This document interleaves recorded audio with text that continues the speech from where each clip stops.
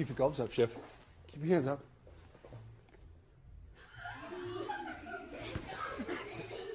Come on, Shib.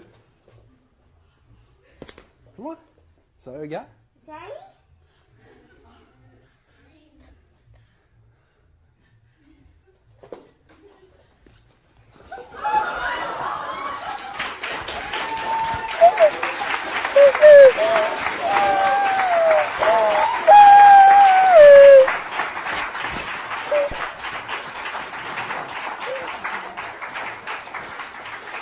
You were such a big boy when I was going. Oh, I'm so proud of you.